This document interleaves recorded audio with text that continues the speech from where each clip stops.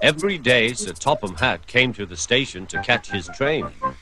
Hello. He always said to Thomas, Don't let the silly freight cars tease you. Remember, you have an important job as a special helper in the train yard.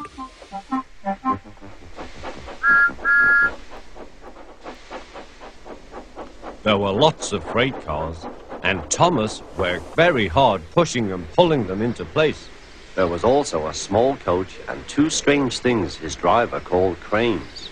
That's the breakdown train. He told Thomas. The cranes are for lifting heavy things like engines and coaches and freight cars. One day, Thomas was in the yard.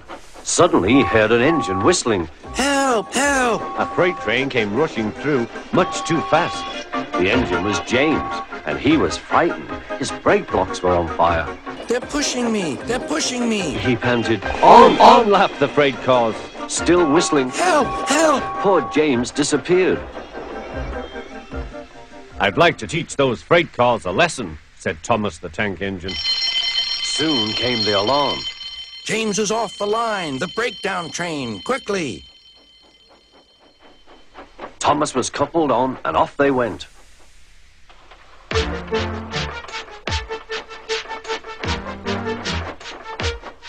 Thomas worked his hardest. Hurry, hurry, hurry, he puffed.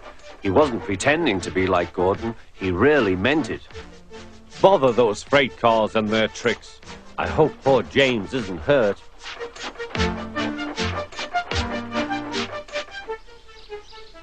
James's driver and fireman were feeling him all over to see if he was hurt.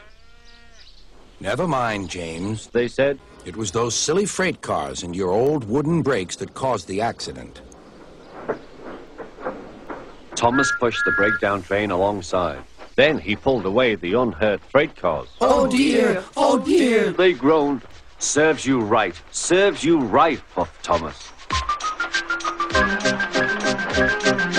He was hard at work, puffing backwards and forwards all afternoon. This'll teach you a lesson.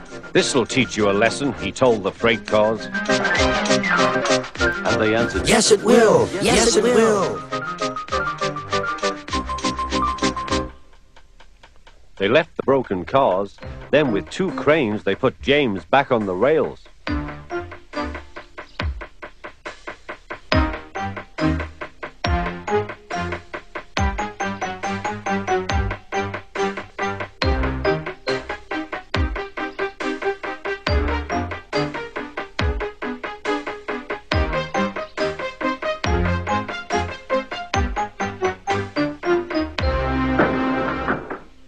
He tried to move, but he couldn't. So Thomas helped him back to the shed.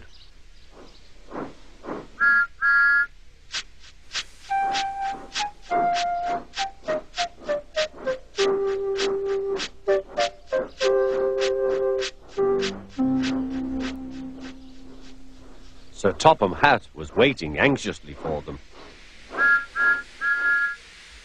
Well, Thomas, He said, I've heard all about it, and I'm very pleased with you. You're a really useful engine.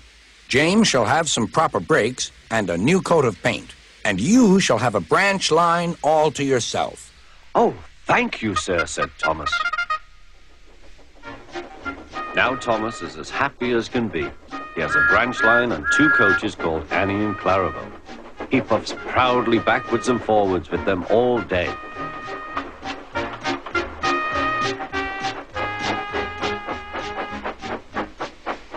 He is never lonely. Edward and Henry stop quite often and tell him the news. Gordon is always in a hurry, but never forgets to say boop boop, and Thomas always whistles peep peep in return.